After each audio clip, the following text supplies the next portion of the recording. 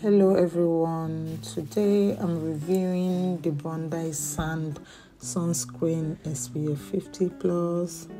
This sunscreen is made in australia. It is lightweight.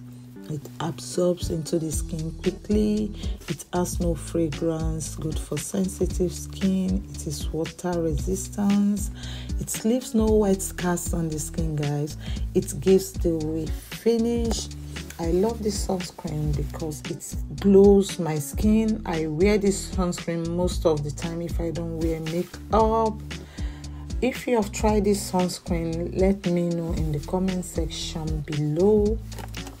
If you have oily skin, you might want to try another sunscreen. Look at the glow. I love this sunscreen. Thank you guys. Bye.